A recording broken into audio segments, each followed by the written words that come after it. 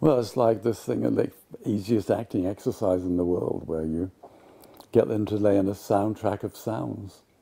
Did you see those guys on this course?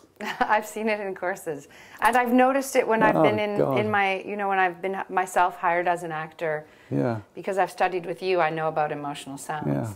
So then when I go into rehearsal halls on scripted shows, I, see immediately that the actors don't make him. A lot of the actors don't make emotional Because they're noises. in the they're, they're intellectual. Yeah, but you should talk about. Uh, I, we know what we're talking about, but Yeah. yeah.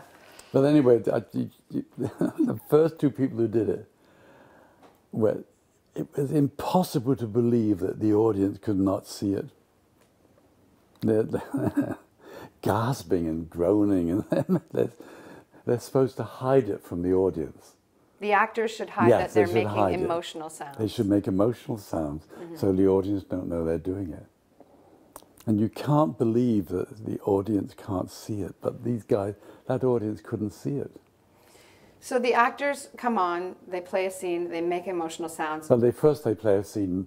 You just say play the scene. play the scene. No emotional sounds. Naturally, they won't make the They don't. sound. You might get one, mm. but you hadn't got any with these guys. But then they when they went to town. It's like you cannot. I cannot believe sitting there. The audience can't see it. But no, you ask the audience, and they haven't a clue. But do they prefer the version Yes. with the emotional sounds, but they don't know why? What they see is that the actors take more time, they're more physical, they're in more contact. If I say, What did I tell them? they'll say to relax, to focus on. they'll say anything except that, no, they're, making they're making sounds. Okay, so this makes me want to ask about um, how you started to see those things. Because when in the time that I've known you and worked with you, I feel as though one of the many things that you're brilliant at is seeing a pro- seeing a problem with improvisers or seeing a, pro- a problem with actors. You see it differently, and then you make up these games to help us correct it in a in a fun way. There's a difference from, between- between me and other people because if there's a problem, I don't leave it. Mm-hmm. For years, I stay with it because I know this. I know status. Aha, yeah. Um, the problem was that the actors don't look real. They're acting.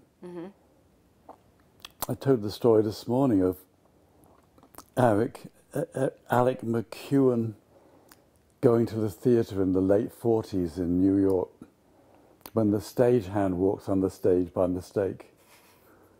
and he's ruining the play. and he does, it's not a comedy, the audience is silent, he doesn't know. He doesn't realize there's an audience looking. He doesn't realize that 800 or 1,000 people are watching him. The stagehand, who's The stagehand, he's oblivious. Idiot, he's going to be fired. It's just, you know, everything's being ruined. But the stagehands, the actors are on the stage already for some reason, sitting around a table. And he says something to the actors, and they acting, and they say something back.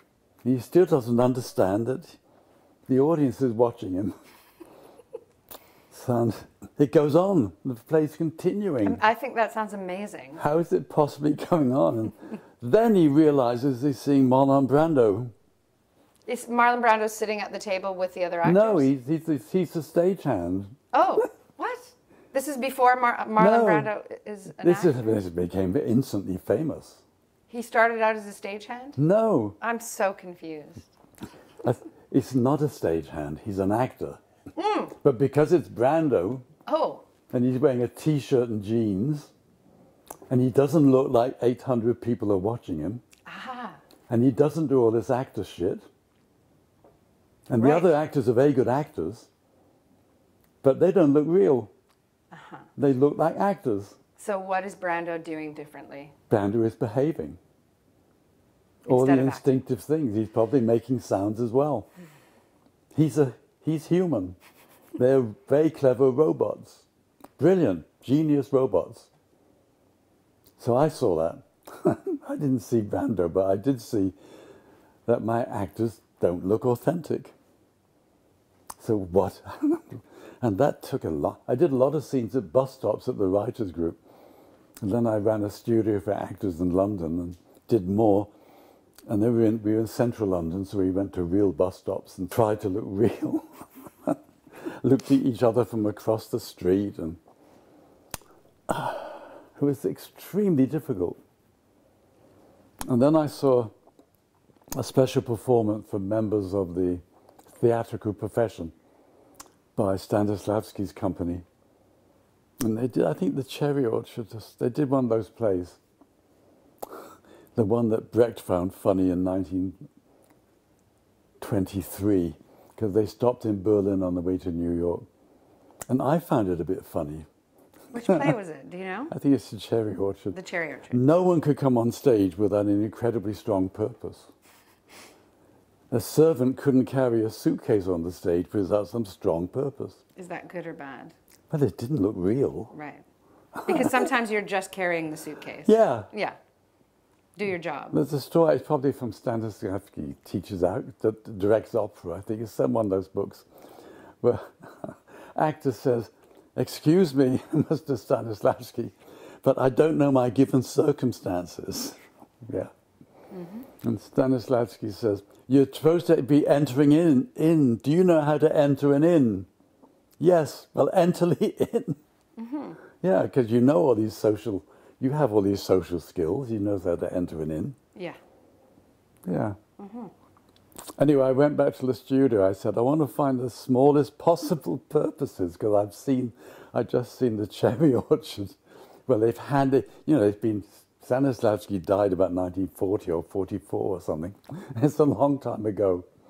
And actors have died and been replaced and they've, you know, they've handed it on. They've all Yeah. found these strong motives. That weren't there to begin with. No, well, they're Yeah. not in the play. They're, Not it's uh, acting. Yeah. And they'd pass them on to each other. So that for looking at as looking at as anything real, it's nonsense. Which I think is why Brecht, Brecht said acting was like putting a veneer of truth onto lies. back in back in what was that, uh, 1923 or something. Wow. Yeah. I'm not saying that's true, but that's the point of view that some people have. And it didn't look real to me. So I, tr- I said, could you try being slightly less important than your partner? Or tiny bit more important? And there it was, solved. Suddenly good acting. Human behavior, no, truthful acting. There Ah, it was. Ah, yeah. You just, and then you could say, well, of course, real human beings are trying to adjust their level of power against everybody they meet. Mm-hmm. And when it goes wrong, there's the disturbance. But when it's normal, everybody has agreement, secret agreements, like how long each person should talk for. And yeah. How long to hold eye contact? yeah, all that stuff, and and there's nothing. We we were freaked out for a couple of weeks. there was nothing. We couldn't ask a question. We could ask a question, but they wouldn't answer it. They say, "Why did you ask that question now?" Because they were into motives, and they, they'd realize you were asking a question to change your level of power. Mm-hmm. So that was a eye opener. So simple. So now you teach it, and people think, oh, there, of course. it took years to find that.